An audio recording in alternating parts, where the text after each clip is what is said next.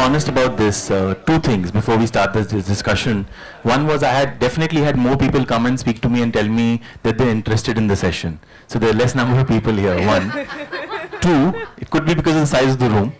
Two, interestingly, uh, when we when we look at uh, when we're discussing on how to go about the uh, the panel, there are two ways we can do it. Given the number of people in the room, I would rather start with the Q and A than doing a panel discussion because there's so much interest and trust me, each one of us, we had enough and more people come talk to us, uh, wanting to know what we're going to be discussing.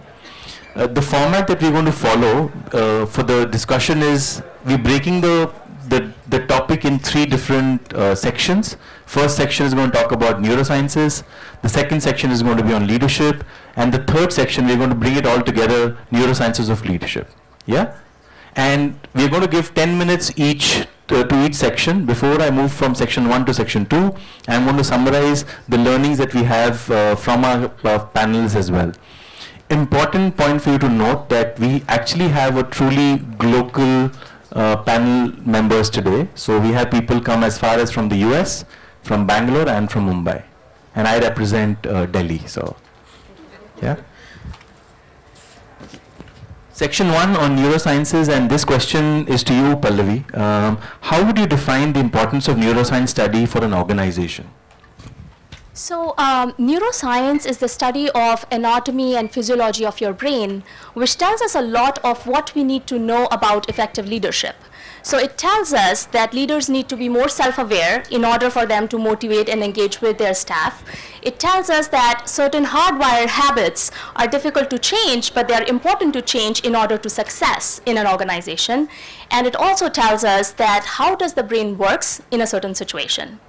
Now, effective leadership can happen when the people around you and the leader are in sync.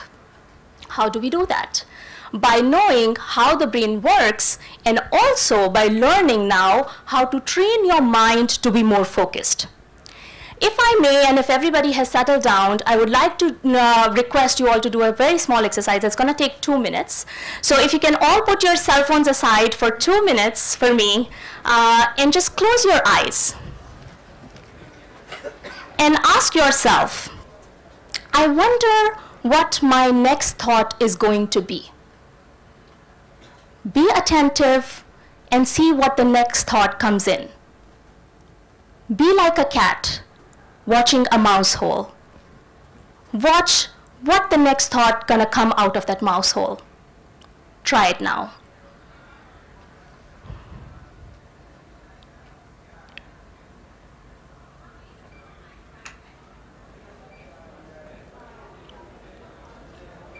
You can open your eyes now. So for most of you, either no thought came to your mind, and for some of them, if it came, it came after a long time. So we'll come back to that. The mind is a superb instrument if used rightly. If used wrongly, it can be very destructive. To put it more accurately, it is not so much that we used our mind wrongly. We, we usually don't use it at all. It uses us most of us are living in this autopilot life generated and controlled by our mind. But the moment you start watching the thinker, which is exactly what we did in this exercise, you gain a higher level perspective and you're conscious and you're aware and you're present. And until you are in this presence, you can be free of thought which is what some of you have experienced. And how fascinating is that? Just as simple as just being present in the now, you can control your mind. And that's exactly what mindfulness is. It teaches us to gain that control back into our present moment and uh, without any judgments. But why are we talking about mindfulness? And why does and why does neuroscience points us towards that direction that we need to be in the present moment. If you really think about it, both past and future are not real. They are the mental projections of what has already happened and what can happen. So when we were thinking about that, more than half of the chaos created for us, our organizations, and our team is because of this mental time travel that we are doing, because of which we are either fretting about the past or we're worrying about the future. And the sad part is that most of the times we keep playing the same repetitive audio tapes in our mind for days, for weeks, for months, and sometimes even for years. Think about something that made you angry, okay? Um, and it changed when, when that happens, it activates certain neural networks in your brain. And then give me, let's, let's take an example. So you had an argument with your spouse or your supervisor or your best friend. That episode lasted for about 15 to 20 minutes. It's been two weeks, and you have been playing the same episode in your mind over and over again. Why did he say that to me? How can he say that to me? He didn't even know my situation. I should have said that and go on and on and on. How many more hours of suffering, anger, frustration, anxiety did you bring upon yourself? And this is the reason why neuroscience is important. Because it tells you, it brings into light these important things that we just neglect because we are in this autopilot mode and we don't realize that we need to know how our brain works and then train it to be in this present moment so we can be free of this mental chatter. Thank you, Maninder. Thank you. Thank you, Pallavi. And uh, Shilpa, my next question is to you. Why are we talking so much about neurosciences now? Okay, so uh, number one, I must confess there was a lot of homework I did before I came for this session because truly I didn't know as much. Okay, when I started doing the homework is when I started realizing, wow, there's so much more to this than I thought. And I think to your question, uh, I think anything to do with the central nervous system, which comprises the brain, the spinal cord, and the peripheral nervous system, has a certain mystery to it. You know, the reason for that being that number one, it's all covered by the bone. Okay, you can actually imagine a heart beating, but can you? If I ask you to imagine the brain, I don't know how many of us can actually think and imagine the brain, right? Uh, and as you explained, Maninder, you know, neurosciences is actually a conglomerate of something like nine or ten disciplines. You know, I mean, it, it's a branch of biology, but then it's like it combines physiology, anatomy, molecular biology, development biology, etc., etc., etc. A little trivia that I learned when I was actually studying up on this first to do with the brain.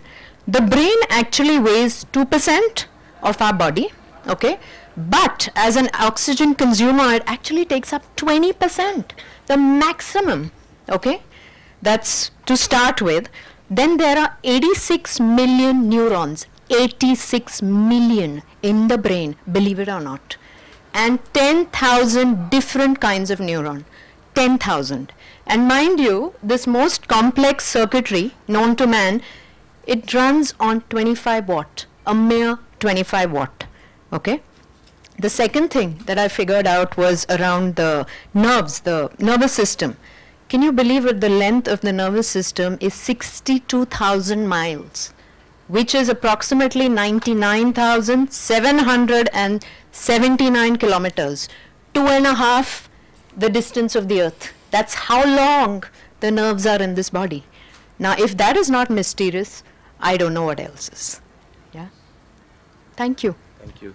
Thank you, Shilpa. And Sushmita, moving to you, uh, your views your views on uh, whether organizations are moving to a holistic approach of leadership development that is actually beyond competencies now because we've heard the two panelists talk about the nervous system look there are enough and more keywords that have been thrown at us yeah. so how does it go beyond the competencies that we've been talking about um, so if it's a question of yes and no, definitely yes. Uh, uh, you know, organizations have realized over years that not all their best and the most competent professionals have turned out to be the most successful leaders you know so definitely there is something beyond competencies that feeds into leadership and that's where the entire discussion on neuroscience you know probably started and you know probably is the buzzword today in organizations as well wherein we talk about how neurosciences actually leads you know actually gives us leads into understanding what makes a great leader. Yeah. Uh, so a lot of research and you know i think uh, pallavi and shilpa shared a lot of uh, you know a lot of things but uh, one thing that's important to understand is that the research says that leaders are wired differently So uh, you know, you you've heard about the debate: leaders are born or made, and you know we've, we've kind of grown up with that uh, you know that that sentence. Uh, well, uh, research says leaders are born. Good news is leaders can also be rewired. Yeah, so you can you know so uh, you know, what's what organizations are really exploring or working on today is how do i rewire my great or the most competent professionals to be the most successful leaders as well. And, and, and that's where the landscape is changing. Thank you. And you know, just to kind of sum it up, when you look at it, many a times mentors, uh, your bosses, supervisors, people at home would also tell you, go slow to go fast. And there's a reason behind it. The reason being what you just heard from the co-panelists talking about neuroscience, how your brain works, how the nervous system works, and why you need to give yourself that time to be able to do better. Summing up this part of the discussion, there is there is a the key words that have been thrown are for a leader to be successful, you need to be self-aware everyone is not hardwired. There is a opportunity for us to look at and thank you for saying what you said because we at CCL strongly believe the debate on leaders are born and leaders are made. We strongly believe that leaders are made and can change uh, behaviors. The other one is mindfulness is a word that you use and that's something that I'll come to very shortly and also the fact that you know you successful leaders is definitely are the leaders who are beyond the the normal competencies that we've been looking at because those are the ones that can be measured. Every successful person most of it when i was doing my own research uh, you know most of the successful people who had all that they needed in life in the end committed suicide. So there was something and there are enough and more names you could look at. Guru Dutt was an example that came as well he had everything that he needed to be successful, but the end committed suicide. So there is definitely a link and now basis research, the advancement of neuroscience, there is linkages that are clearly evident between the management practices we have and how the brain works. So with that we move to the next section uh, on leadership. Uh, and I'm going to ask this question to you, Shilpa, in terms of what makes a successful leader? What, is the, what are the ingredients of a successful leader? So according to me, great leadership, I'm sorry, I'm going to read out because I've done a lot of homework and language is important. So I'm going to read out, okay? Um, great leadership, according to me, starts with self-awareness. If a leader is self-aware, he has, uh, he can consciously influence the situation as well as the, you know, the potential climate around him eventually. But if a leader is not self-aware, it can really lead to undesirable consequences. That's number one. Number two, research has now already started trying to link actually uh, self-awareness and how it impacts companies' bottom line. There was a recent research done by Korn Ferry International and uh, 486 publicly traded companies were studied and in the research what came out was that companies with a strong financial performance have, have employees with higher self-awareness compared to the poorly performing companies. Okay, Research is already being done in this area. Thirdly, and I think this is the most important one, 95% of us is actually in the unconscious. 95, okay? Uh, it lies in our body, it lies in the energetics, it lies in the aura, a whole lot of other things which are still being studied. There's just 5% which is actually here in the brain, just a mere 5%. So does it become important then for a leader to become more and more aware? There's a very powerful line that uh, I will read to you. It's a quote from Carl Jung, a psychologist, a very, you know, popular psychologist who's no more. But the line says that until you make the unconscious conscious, it will direct your life and you will call it fate. I'm going to repeat that, okay? Until you make the unconscious conscious, it will direct your life and you will call it fate, okay? So a more self-aware leader, therefore, becoming more and more conscious as much as possible, okay, can therefore influence his future as well as that of the organization and the team around him. Let me share an example, a very simple example of uh, a CEO that I'm currently coaching, a CEO of a Indian multinational, wants to grow the organization. He's got audacious goals, wants to take it from X to 3X in three years. Okay? Very, very audacious goals. They're already uh, in the US and uh, uh, Asia and they want to grow. But when we started working together, he happened to tell me that, you know what, I've got an issue with some people in my top leadership team. I'm like, okay, what is that about? And what we discovered is he happens to have a belief system which is that, you know what, when they make a grave mistake, if any of the leaders make a grave mistake, I put them in the box in my head, which is, I don't trust you. People don't change. Imagine now, if this was not made conscious, this CEO goes into a meeting with one of these leaders, what happens there if it's not made conscious to start with? Okay? And then what happens down the line? What happens to that leader and his energy and then his dynamic with his team and then business performance? So, those are a little bit of my views around why self awareness is very important. Thank you, thank you, Shilpa. And I think um, the next question, Sushmita, for you is going to be around why resilience is considered important for any leader why resi- resilience is considered important for any leader. So we talked a lot about self-awareness, Yeah. and many a times when you when you have a challenge at work, they tell you to be you need to be a lot more resilient. Yeah. So your views on why it's considered to be important. Uh, so I think uh, you know the the leading question to it is uh, uh, who is a resilient leader, yeah, and uh, n- you know if you look at some broad traits and if I have to club it and prioritize, uh, then there are three traits that clearly stand out. Uh, the first thing is a resilient leader looks at difficult situations in a different way. Uh, that different way is the way where he thinks of uh, thinks of them as challenges. You know, so this is a challenge that's come to me. I've got to overcome it. I have to emerge as a winner. So that's the first thing. The second thing is um, a resilient leader is very very committed to anything and everything that he cares about. So uh, when he gets up in the morning, he gets up for a purpose, with a purpose, very very committed to the team that he's responsible towards, uh, the mission that he's wanting to drive, the beliefs that are core to him, and, and that makes him what he is. And the third thing is that he doesn't really fret over what he can't control, and he's very, very focused on things that he can control. So there are these uncontrollables in our lives. We at times get bogged down by it or let them influence us more than they should actually.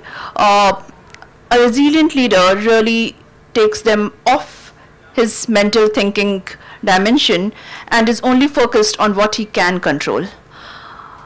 Now think of a leader who has all these three traits. He is an inspiration to the team. He is a person who instills a lot of trust in the team. He is the person who has got this very, very positive outlook and he drives the team to achieve what they want to achieve, irrespective of whether the situation is good, bad, ugly. Yeah. And that's that's the key. Uh, you know, maybe I mean I think that's the key why uh, why resilience is extremely extremely important in a leader. Thank you. And Pallavi, you talked about uh, mindfulness in the earlier section that we talked about. How do we implement mindfulness in our day-to-day lives? Uh, so I'll, I'll answer that question. I just want to take one more minute because I was talking to, uh, listening to Shilpa about the research and everything. And I want to share um, that part a little bit. So a research has been conducted by Dr. Daniel Siegel, which tells you that uh, mindful meditation really helps and enhances uh, your brain by actually changing uh, the actual structure and the neural networks in your brain the meditation is really like a workout for your brain. Like you know we do workout for your body for your body and we have to be consistent. The same way meditation is really a workout for your brain. So in that study he um, it has been concluded that by doing mindful meditation it enhances the nine core functions of your prefrontal cortex area. What is that? That's right behind your um, forehead here, and that connects with your limbic brain, your amygdala, and your brainstem. Together, that regulates the emotions and feelings in a person. So, the nine core functions that are impacted or enhanced are body regulation, attuned communication, emotional balance, which we call equanimity, um, and then response flexibility, um, morality, intuition, insight, fear modulation, and empathy. So all of them, and there has been research condu- conducted which has been fascinating, you know, when you look at that research, that how this really enhances the core functions of a person. And let's quickly talk about that one area, like response flexibility, because I feel like as HR practitioners, we use that every single day. So what is that? It is the capacity to pause before an action, and especially in a challenging situation. So, uh, you know, that what happens is uh, when you apply that, so as HR practitioners, we have a lot of issues that happen, like employee relations, you need to terminate an employee, medical issues, compliance issues, and all of them are sensitive areas that can be very sensitive to a person. So you need to be aware of what's going on in his mind, what are the emotions going on in your own self and watching those emotions, understanding their situation and perspective, and then taking a mindful response rather than that autopilot mode of our reaction of our mind that we do. I'll give you a very short example, just take 30 seconds, and road rage. Very simple example, ha happens to all of us. So after a stressful and rushed morning, you finally have your cup of coffee, you're sitting in your car, driving to work. Somebody comes from the back, honks hard, and just cut you off. Your reaction? All of us have been there, right? angry, frustrated, banging on the steering, uh, steering wheel, cursing the person, you know, what the hell, man, watch where you're going. Or even saying to the point, just spoil my entire day. What a start of the morning. Now let me give you some more information. Now you find out that the driver was taking his pregnant wife to, de to deliver their baby. How do you feel now? All of a sudden you're concerned. You want the person that, and you're wishing that he made it on time. That's what mindfulness and this higher level perspective gives you. And the more important thing, it gives you the chance to watch your own emotions while, while you're having them that, hey, really getting angry in this situation is not going to change anything. He has already passed me, right? You know, this has already happened. And does give you the capacity to have that um, response flexibility and have a mindful response. And now let's quickly jump to how do we apply this mindful meditation in our day-to-day lives? What are the small things that we can do? You know, we don't have the luxury of uh, going to Himalayas, become sadhus and just meditating and yeah, have that peace and serenity. We have our lives, we have our work, we have our kids, we have our family. So what are the things that you can do? Simple things. Uh, you can wake up in the morning, have a 15 minute meditation session right in the morning, and just focus on your energy of the, uh, your, your own energy and focus on what are the goals and intentions of my day. What do I want to do today? Just a simple 15 minute uh, meditation. Then you do the same thing 15 minute meditation, reflection meditation at night. So, how did my day went? What are some of the challenges I had? And just spending that time with yourself because we never have enough time to do that. I sometimes actually even do a five minute meditation session right before my an, an important meeting or sometimes right before my lunch just to have and know the feelings what are going on in myself.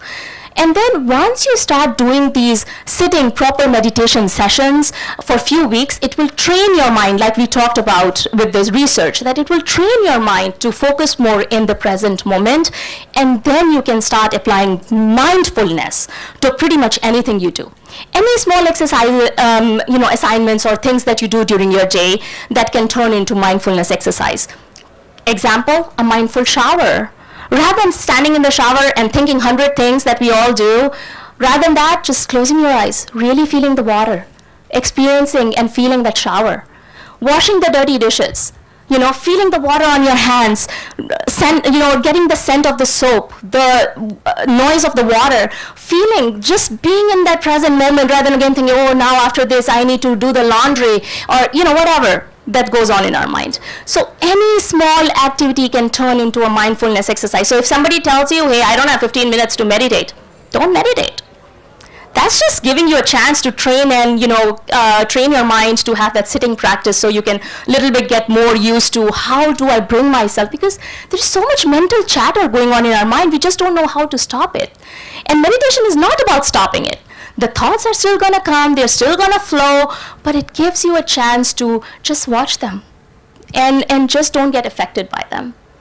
So those are some of the small things that you can do and apply on your day-to-day lives. Thank, you, Pallavi. And when you, while you were speaking, there were enough and more thoughts that are coming to my mind because most of us have received these advices from our bosses and saying, you know, don't respond to an email, a knee-jerk reaction, sleep over it. And now you know when you look at neuroscience why they were saying it because we talked about things.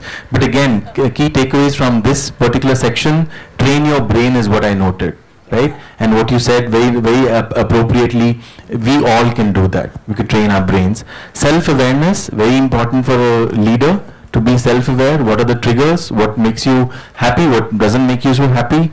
Uh, here, I would like to quote a CCL research.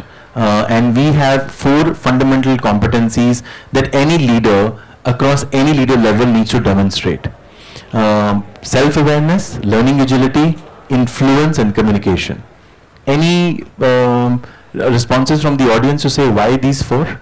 It's a very simple answer. Why these four? I'll repeat it. Self-awareness, learning agility, influence and communication. Why are they considered to be the fundamental four competencies any leader level needs to display? Yes, Rahul. Yeah, I'm just going to hazard a couple of things. One, uh, environment is very dynamic. Right. And the second thing is you work so much more in matrix organizations, so influence becomes yeah. So I, will give you the answer for this because these are the only four competencies you cannot delegate to someone. okay. So that, that that's the fundamental four that we have here. The second is, uh, you know, when you look at leadership, it's all about being committed to a purpose. So you talked about getting up in the morning. What, what do you get up for? What do you do? You have a purpose. And if you have a purpose, you have a team that can actually do what you want them to do. The other piece is, if you look at, if you do uh, Google on leadership, you'll find enough and more definition. For us in CCL, the leadership is all about D, A and C, which is DAC and that's a framework that we have. It's about direction, alignment and commitment. So you look at any leader, if he has direction, alignment, commitment, he has a team that will make things work. If one of them is missing, you are missing leadership right? With that, we move on to the most interesting part of the session now, which is neuroscience of leadership. And I'm going to address my first question to you, uh, Sushmita. It's about deeply embedded leadership patterns and immunity to change. How can neuroscience help? So when we say deeply embedded leadership patterns, uh, uh, what do we, what do we really mean by them? Uh, patterns or any any form of patterns, be it leadership or anything else, is basically our experiences. You know, so we have uh, you know we were born someday, and uh, since then we've we've had experiences that that have made us what we are, and uh, all our behavioral patterns, including leadership patterns, are basically a culmination of all our experiences. Uh, now, when we talk about changing the patterns, we're talking about changing experiences. Is that possible? No, right? Uh, so, so that's where this, this concept of rewiring that that's that's their that's their neuroscience uh, plays a critical role. Um, so, uh, you know, it's uh, it's a very tricky thing, but uh, you know, but when you look into self-awareness, mindfulness, and experiences and rewiring as three blocks. So, you know, there is there is a way to make this happen. Uh, okay, so let me give you an example. So suppose uh, there's this leader uh, who has a certain bias, yeah, uh, and you as the coach to the leader would uh, get into a conversation to understand where that bias is stemming from. One way to do it is you know you ask some direct questions. Second way to do it is you know you back it up with some psychometrics and things like that. Uh, while you do all of that you also look, look into experiences that he's uh, you know that he's shared with you and experiences that he's not shared with you. When i say not shared with you you know you may want to uh, have a conversation with key stakeholders in his life, right from his parents to best friends to uh, to people who've you know who've mentored him through the years. Uh, you need to identify and pick those people who probably know about his experiences more than he does. Yeah. And then when you have a fair understanding of the experiences, uh, that's where you know what you need to rewire. You know, because not everything needs to be rewired you'll then understand that probably out of those 5000 things, there are only these three things that need to be rewired. Now, again, there is a way neuroscience does it. There's something called cognitive behavioral, uh, you know, theory uh, that addresses it, which is about plasticity of brain and all of that. But uh even if you don't want to go that deep, simple, you know, that that using mindfulness as a simple tool, this can be addressed. So you talk about specifically those experiences which are related to those three things that you want to change. You talk about how the person, if if the experiences were different how could they have impacted the person differently and what would have changed? Yeah? You talk about similar experiences which people who are close to this person you know who've experienced this differently. And then what kind of people are they? And is he okay with them or not okay with them in some cases he would be okay in some cases he would not be okay so you need to get into to, into these very very active dialogues you may not be able to refilm his life but you may have some trailers, you know, which would be probably equally impactful, and and and that's that's going to change the world. You know, so that that's that's the power of neuroscience. Thank you. And Pallavi, you talked about uh, hardwiring and habits, and so the question to you is: Can you elaborate on the aspects of neuroscience where certain hardwired habits that one needs to be aware of? Because uh, Sushmita just alluded to certain habits that are there of a leader that you know that you can change, you can work with. What are your views on this particular topic? So I think I'll pick up from where Sushmita said, like you know, uh, for um, when so success isn't possible in an organization without changing the day-to-day behaviors of people throughout the company. But it starts with you as the leader. But like Sushmita said, I mean, these are some hardwired uh, changes that you're expecting. So it's hard to change those kind of things. But generally speaking, if you remember this, one thing that I'm going to share with you, that's going to help you and your organization if you can share with them how you can um, accept change and what is the real so i'm going to discuss or even share with you the impermanent nature of things that mindfulness and meditation teaches us. So if you meditate on the breathing breathing in breathing out. If you meditate on the flow of blood in your body that is something, a reminder that tells you that nothing in this life is permanent or static. We are constantly breathing. Even while I'm talking, I'm breathing. The blood in our body is constantly flowing, it never stops. The planets, they're constantly rotating, constantly revolving, constantly moving. The entire galaxies are constantly moving and drifting apart. Seasons, weather, you take everything, anything, and this impermanent nature of things is what defines life. So nothing, every single moment, whether it's positive or it's negative, it is going to change. Then why do we resist it so much? Why can't we just remember that it too shall pass?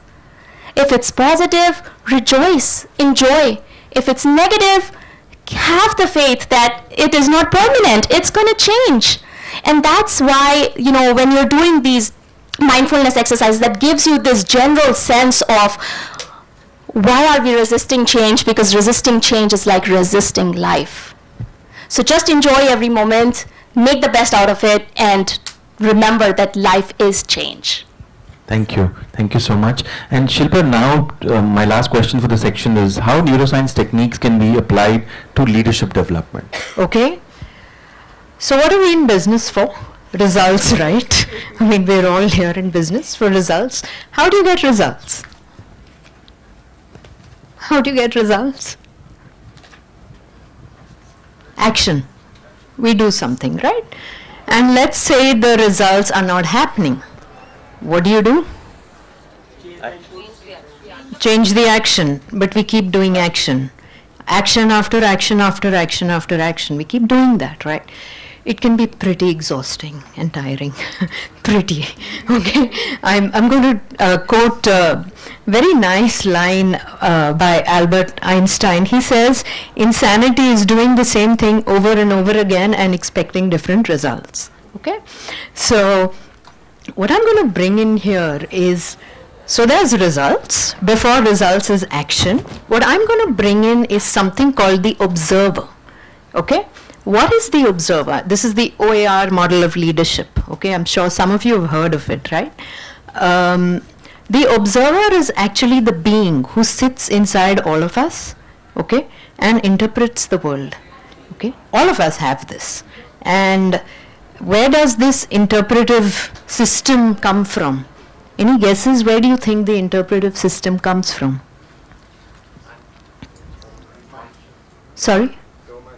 In life, how does this evolve? How does the interpretive system evolve? Absolutely, absolutely. It's experiences, it's influences, it's parents, it's teachers, it's peers, it's most important people in our lives, right? Because of that, there's this interpretive system. I'm calling this the observer who sits in us, looks at the world with a particular lens. How do you think this observer shows up in the world? It shows up in the world in three ways body, emotion, and language. Okay? Now, what what is body? Body is just not body language okay? Body is my stance. Body is my energy. Body is how do i walk okay? Are my shoulders contracted? Are my shoulders open okay? Uh, how, is my neck down like this or no? Believe it or not when you do this okay what happens is you're actually releasing how many of you are crossing your hands and sitting right now you're actually re releasing cortisol okay, which is the stress chemical in the body, by the way, okay, FYI, okay, and uh, so that's the body, right? The second is emotions. What is emotion? Emotion is actually energy in motion, okay? So there's a trigger that happens external or internal. Sometimes we cause our internal dramas also. In fact, most of the time we do, okay? And uh, there is some sensation in this body as a result of that trigger.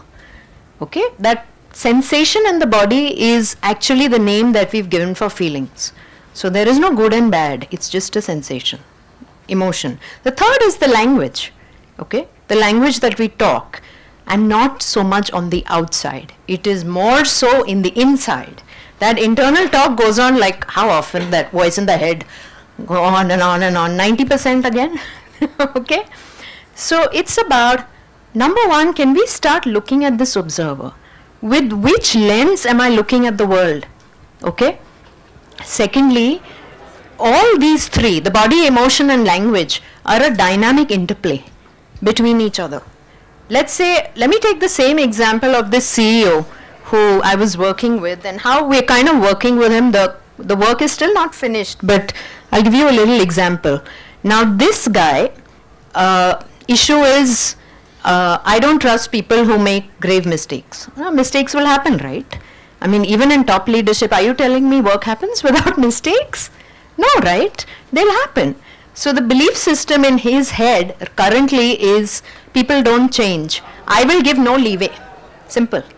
Now there are two ways that we're starting to work on this, and this is where neuroscience comes in, and the BEL model comes in, body, emotion, language, is number one be aware also with what lens are you looking at okay? Secondly we're doing something short term so the short term thing besides him going in for conversations with these leaders before a conversation i've told him hey listen you know what? Number one please by the way anger and judgment whenever we are in judgment of ourselves and others it sits here in your jaw okay when you want to loosen this judgment there's an exercise for it like that. Of course, there are loads of other techniques like this in the body, but I've told him, do this. Before you go in, would you please do this in order to release the judgment here? Secondly, please sit in the meeting, do not cross your hands. Okay? You're releasing cortisol continuously. And uh, that's those are the short term things that we're doing. Secondly, in the meeting, be aware. Awareness of emotion allows you to step away from it, right? So that's what he does in meetings. He kind of is aware when irritation is arising, anger is arising in the meeting, he's aware of this. But so basically this short term stuff we're doing. Long term, we're kind of working on his story. So his story is basically he was a kid very lonely at home, okay? And twice in his life, once as a kid between 5 and 10, and once when he was in college, what happened is he was ostracized from the group. He was made a pariah, thrown out of the group. Number one, you're a lonely child. Number two, you find friends and then people throw you out of the group. You can imagine the amount of pain that's caused. So what's come into his head is, you know what? When when a mistake is made, you know, I'm not going to allow leeway. Once enough, no more leeway. Now we're working on this, right? Ex- exactly. So we are working on this with him. So one is the short term, one is the long term. We're trying to change the observer that he is somewhere. The questions that I think I'm asking him is is this belief true actually that you know people never change? Is this true about you to start with? Have you not changed over the years? The second question, just an example. Let's say you hold on to this. What are the consequences of this? Right? So once we start working on his emotions, once he start, he also starts having a very different body. When he goes into meetings, there is an interplay. Language also, we're working on language. We've made him aware that, hey pal, you're holding this belief, people don't change, or I'm not going to give leeway. Something starts shifting at a very radical level. So my my view is that you know as leaders we can have incremental changes if we keep doing action. We can. Yes, you'll grow 5 that 2%, 5%, you'll grow every quarter.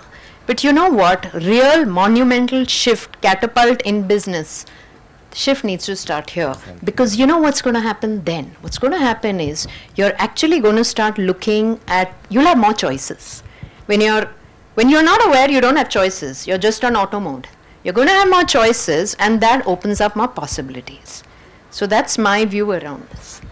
Thank you, thank you, Shilpa. And you know, just to sum it up, I think there's been enough and more in terms of correlations that we build, uh, neuroscience, leadership, how there, and there is evidence now. So if you look at neuroscience as a subject, the research is probably just two decades old and there are other disciplines as well that are evolving. So neuro leadership neuro education neuro law there's enough and more that's happening in this space. And there are evidence like and you know you rightly mentioned there are enough and more evidences that are now there with the management practices that we have and how it affects your performance at work. So again key work summing up the the session. This is uh, it's about what lens you're using. It's about self-awareness.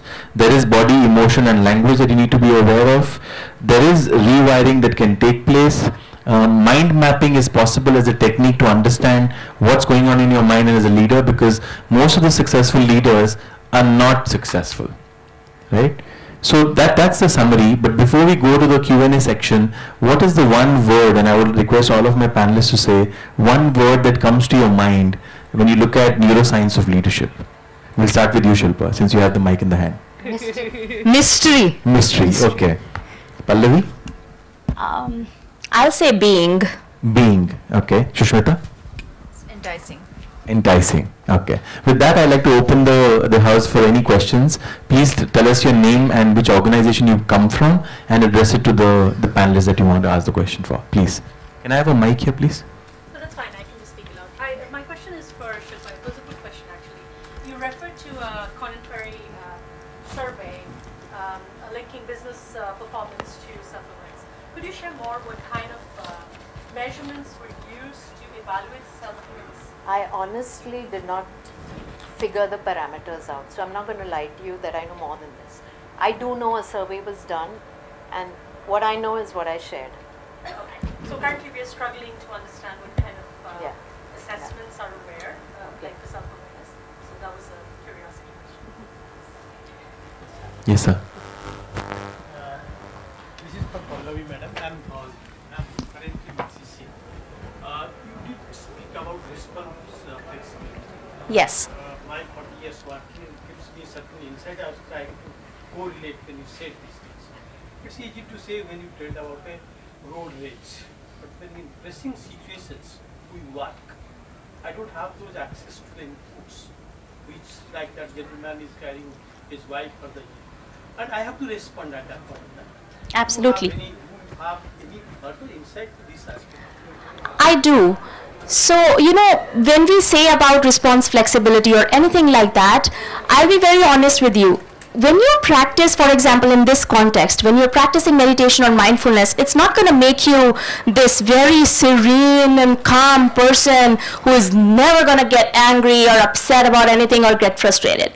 But the amount of times that you get angry or the duration of time for what length you get angry that reduces. So rather than getting angry for some, uh, on somebody for two weeks, you may be able to give it, you will still get angry. We are all human beings. We are not robots. We have this emotions and everything. And that makes us human. But you need to realize that when you do practice these things, it brings that emotional stability at some point. So after a day, you may be able to forgive and move on rather than holding on to it for a week. So, so it just reduces the duration, and as you practice more and more, you just keep getting better. And sir, if I were to answer that question, it's it's more around the fact that you know the example that she gave of a road rage and and not knowing, it's looking at the other perspective as well, and not restricting it. And again, going back to the word that we've all been using, self-awareness, is becoming the key there as well. Yes, Mamta. Um, I'm Mamta from FIS. Hi, Shilpa, my questions for you. It is very nice and interesting. Um, some habits get formed, as we know, in the first seven years, and they're very deeply ingrained. Do you think when you coach someone, and the example that you've shared, it's also important to link it with continuous counseling? Would that help? Because these patterns are very difficult to change, and they come back, and you would go away, and that guy is still on his own. And he can't keep being his observer under stress constantly. It's sometimes difficult. So, by the way, I'm also a therapist. Okay, I'm a coach as well as a therapist. So, uh, so a lot of the work, Mamta, for example, that I would do with this guy would not be a one-off session, right? It would be at least eight to ten sessions over a period of six to eight months. Okay, and there would be certain practices that I would teach are you all willing to try a two minute small little thing quickly right now, neuroscience based? Yeah? Okay. Now, just just follow me to the T, otherwise it's not going to work. Okay? Uh, just do me a favor, just hunch a little, hunch your body a little. Cross your hands if you feel like you can even cross your hands and legs both. Cross your hands. Okay? Now think think, don't smile, get irritated. Right now, I want you to be irritated, pissed off. Why these panelists just going on and on and on? Okay? Now, think of an incident, something recent that happened in your life, okay? Uh, that really angered you and irritated you. On a scale of 0 to 10, think of something at a scale of 5. Please don't go some crazy relationship fight of 10. 5. Remain at 5, guys. Now think, what happened with this person? What irritated you? Okay? Get more and more irritated. Feel it in your body. Okay? Are you sufficiently irritated and anxious and frustrated? Or you need more? I just got over with it. okay get up. Get up. I'm going to help you get over it. In a minute. Okay? Get up. Feel that again. okay? Get up. Uncross your hands. Uncross your legs. Completely sit straight. Just sit up straight. Uncross. Okay? Now breathe in from the back of your spine. Breathe down from the front chest down to your belly button. Think of someone or something that you love or makes you smile. A lovely vacation, somebody you love, a child, a pet, it could be anything. Okay? Again, breathe up from the back of your spine Breathe down from the front of your chest down to your belly button. Think of something or someone that makes you smile. Uncross your hands and legs, please. Now think of the same incident again. Think of the same incident. Now tell me what happened. Hmm? It doesn't matter. So you know what? It's that easy. Can you believe it? It is this easy. It doesn't matter what happened. There was a certain distance. Yeah? That's neuroscience for you. We came out of the autopilot. Yeah? you you basically what we did in the body is we number one there was a lovely energy flow. Your body was signaling, brain was signaling to each part of your body. If you slouch like this, it won't signal. The signal will not go brain to here. This perfect signal happening. Then you released oxytocin. You thought of something and someone that makes you smile. Okay, you took deep breaths, which is also for relaxation. So, sir, it's as simple as that. As simple as that. Thank you. Oh,